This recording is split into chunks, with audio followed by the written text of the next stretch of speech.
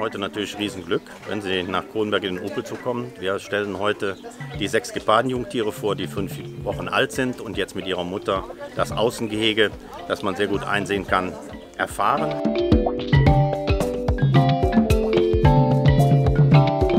Von den sechs Jungtieren sind fünf männlich und eins weiblich. Das sind die ersten Geparden, die in Hessen geboren wurden.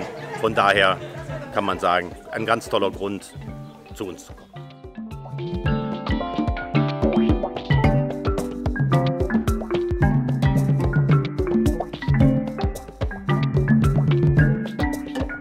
Ist irgendwas Tolles Neues. So wie sie vorgestern anfing, Fleisch mal zu probieren oder so. Die, die, Entwicklung, das, man kann ja wirklich jeden Tag entdeckt man irgendwas Tolles Neues, was die jetzt können. Wir warten darauf, dass sie die Bäume für sich entdecken, ähm, die ja zum Glück nicht allzu hoch sind, weil das kann dann natürlich auch mal blöde enden, wenn sie hochklettern und einfach schneller runterkommen, als ihnen lieb ist.